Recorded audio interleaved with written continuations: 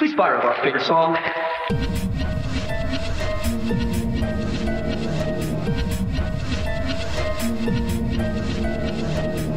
Now, some of this next footage may be too gruesome for some audience members, so viewer discretion is advised.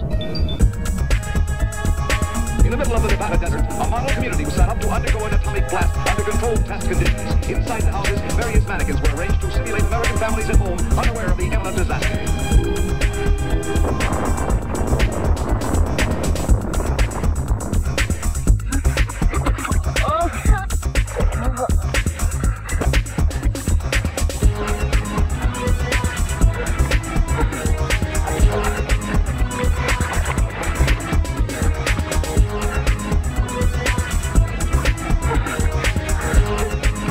No.